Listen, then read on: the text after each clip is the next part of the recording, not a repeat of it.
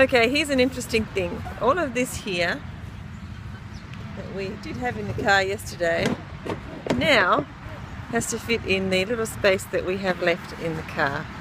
Let me show you. Look at the sheep. Look at that. One sheep. Not so much space left. I don't know what happened. It sort of must have grown overnight. You want to see what it's like now? There we go. Somehow Simon the Miracle Man made it all fit. Interesting finding anything.